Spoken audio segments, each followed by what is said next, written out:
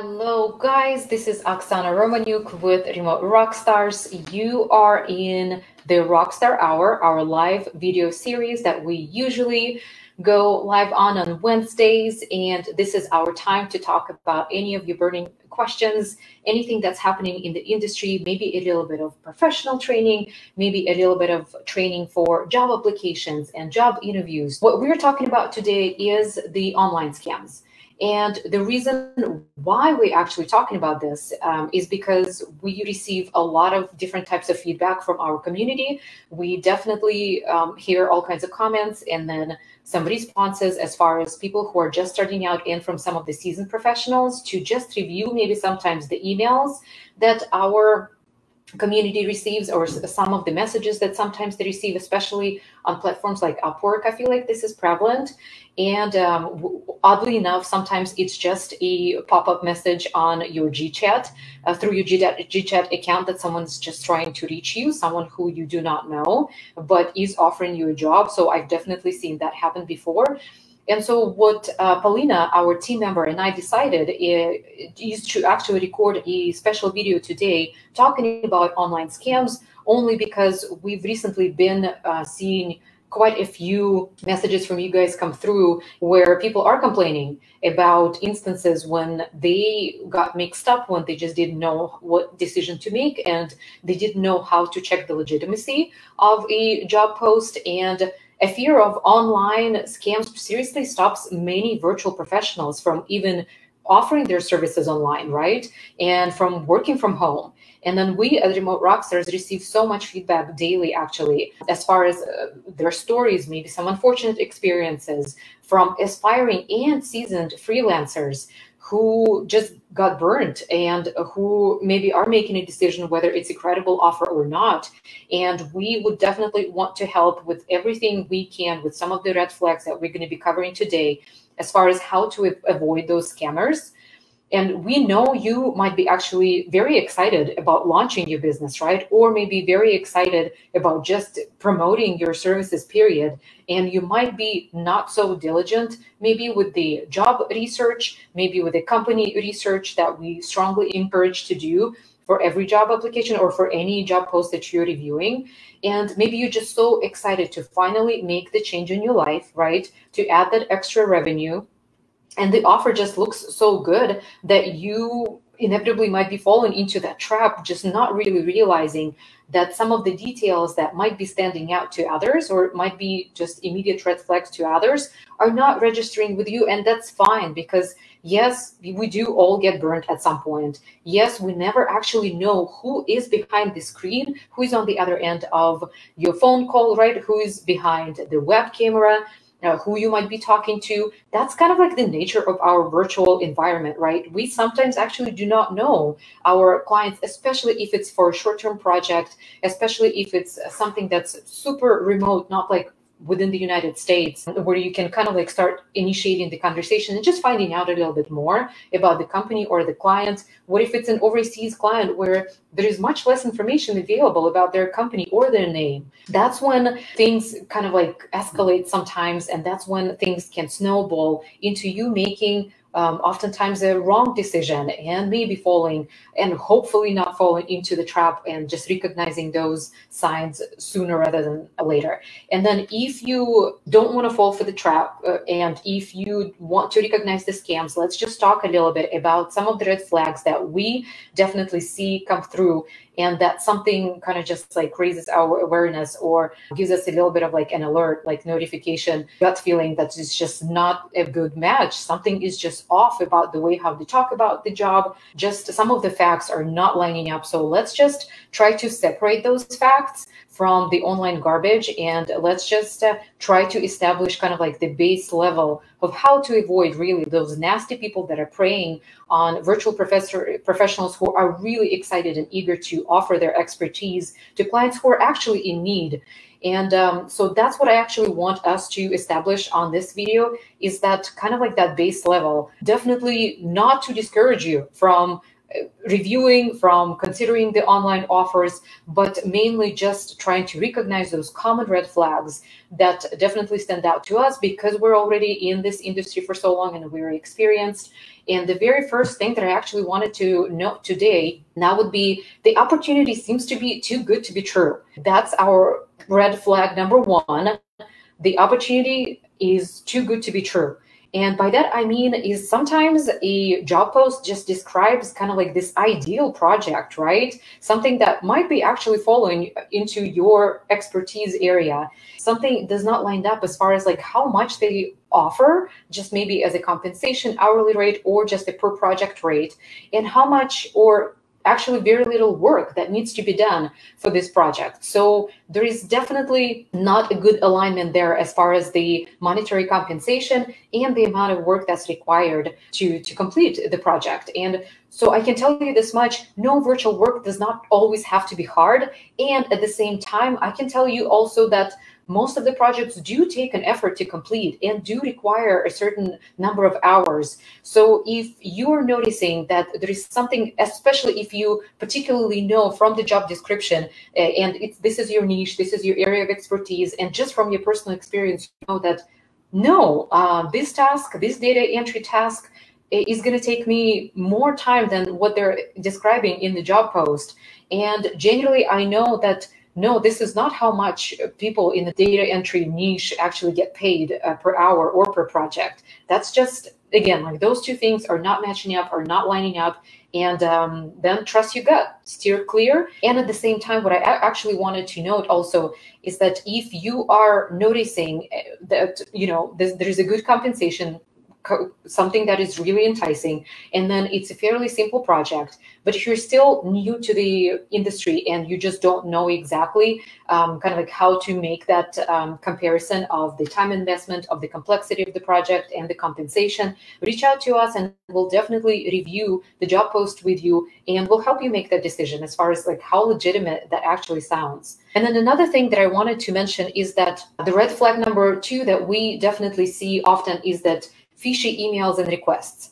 And it can be coming from Facebook, it can be coming through Upwork, like I mentioned earlier, sometimes through your GChat, which is weird enough as far as like how do they even get access to that and how do they even recognize that you might be the virtual professional i feel like sometimes it's actually intentional targeting but a lot of scammers are really good at that kind of like salesy talk at um, giving you lofty promises at kind of like giving you the uh, illusion of the overnight success that you're going to achieve with this project or with this job opportunity. And uh, again, aside from it just sounding sometimes too good to be true, they are so good and so versatile at the way how they lead the conversation that it, it just kind of like sucks you right in into talking about the job details, and not so much kind of like about their company, right? About their background, what kind of work they're into. And if during the conversation you see that their very first inclination is to use Google Meet or used to be Google Hangouts, that's kind of like your number one flag that generally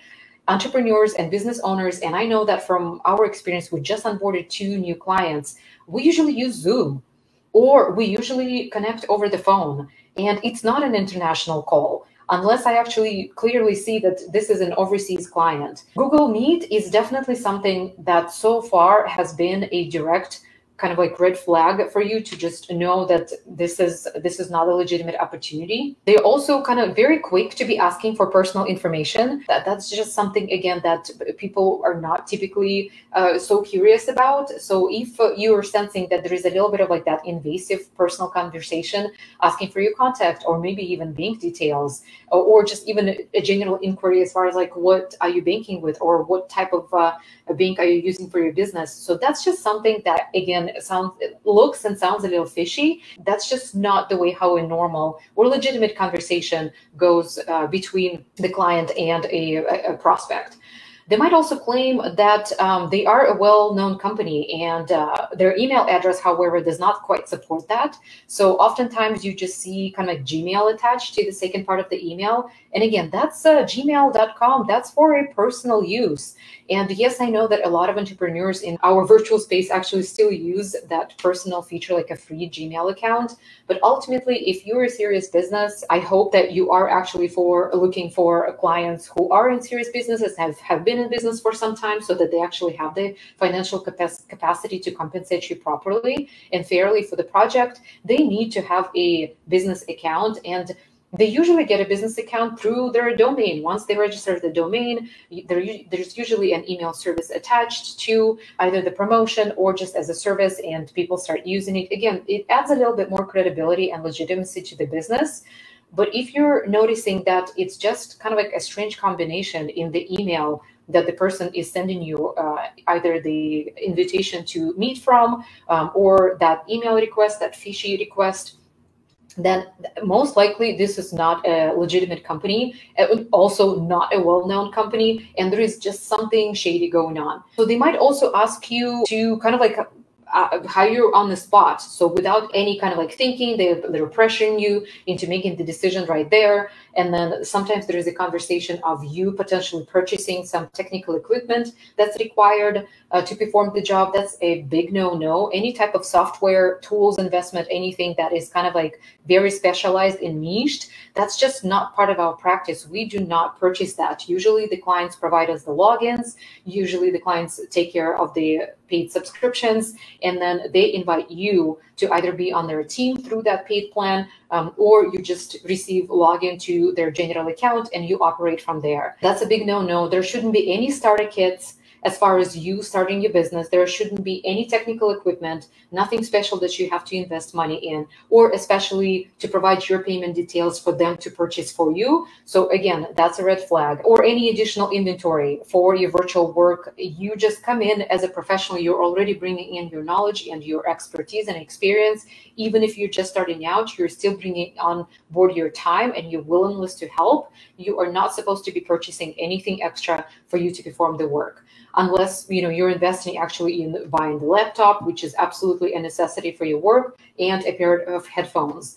I mean, if you want a fancy camera, obviously webcam, then uh, that's another investment. But usually cameras come already built in into your laptop, so boom, you're done. If purchasing the starter kit or investing into some into some kind of like inventory is part of that conversation, that might be a multi-level marketing company, which is nothing wrong with that. But just be aware that this is usually the way how they start and launch their business, and that does require a financial investment for you to then be hopefully making the sales, selling that inventory that you're investing into, and then bringing the money back, hopefully with a profit. Plus, they sometimes want you to share your bank details on one of the initial phone calls. Like if it, even if it's not the very first phone call where you're maybe not noticing that you know they're requesting any personal information, but then in the subsequent calls of you continuing kind of like the negotiation with them, the discussion of the position. Then they request bank details, maybe sometimes motivating it by the fact that they are located overseas, they need to set up the transfer,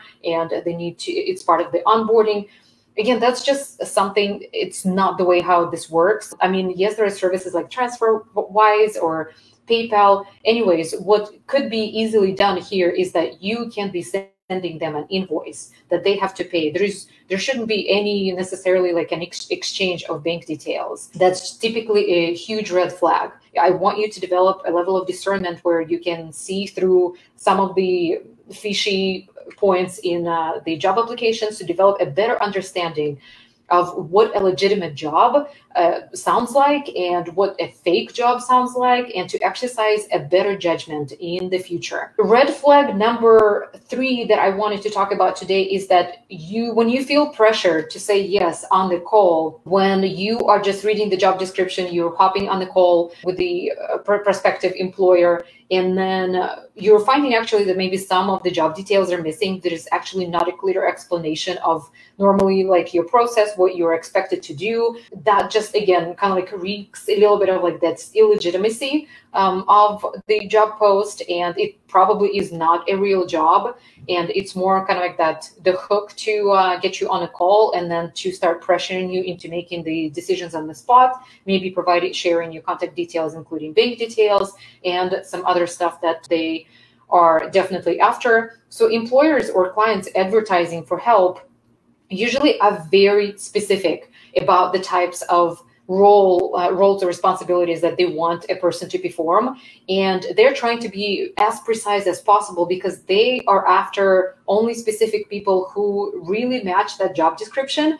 And they just do not want any type of like fluff or any type of like vague information only because they need to fill the role and they just do not have the time to sift through all kinds of applications so they use very precise language and by using that precise language, that disqualifies some people that are just not suitable candidates. So if they try to rope you into doing work without clear instructions or expectations, chances are they're trying to get you to work for free. That's also another red flag. So run and don't walk from that type of work, just making sure that you are compensated in the end. And that should always be discussed before you agree to a project or a task. If your potential em employer is pressuring you for a response by email or on the call, they're telling you stories about how other people became super rich and um, just kind of again like going back to this overnight success that we talked about while working with that company the well-known company that is also a major red flag and uh, again that's just a no-no.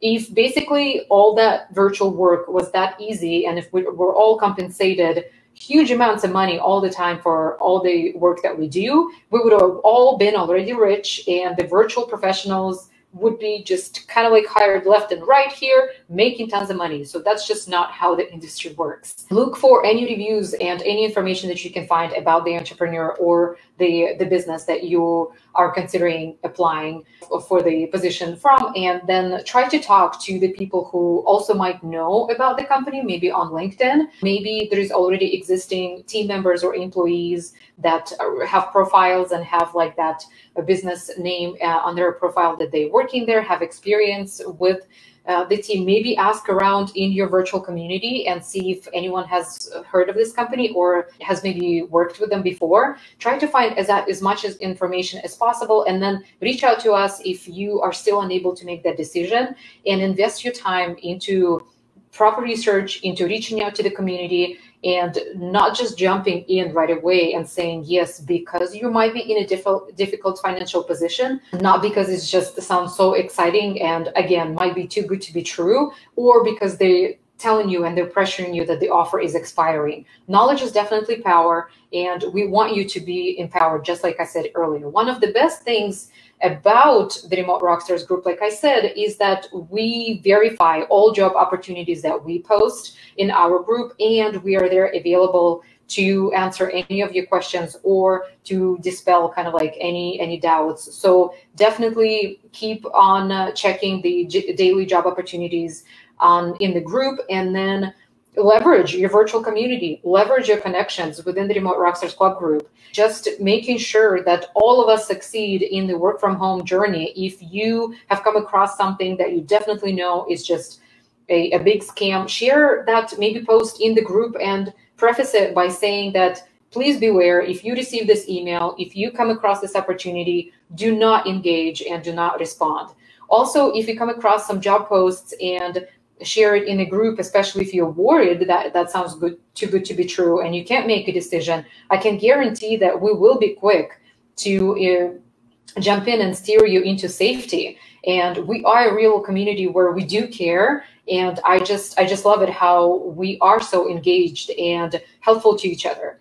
Working online can definitely give you lots of flexibility and freedom and just basically in enriching your personal and professional life there's just so many benefits to working for yourself. And at the same time like we mentioned time and again that it could be isolating and making these important decisions when you are just your sole entrepreneur sole business owner and there's no one actually to run it by. Maybe your, your family members maybe uh, your friend but they're just not really sure. Leverage the community that you're part, part of the benefits definitely outweigh these risky and fishy situations that we sometimes maybe can find ourselves in. And it's definitely worth a chance to just go on for your success and go after your success. And here's what I'm going to leave you with as far as cheers to your success. Be successful, be bold and brave, and stay connected within your community so that we can always be helping each other out.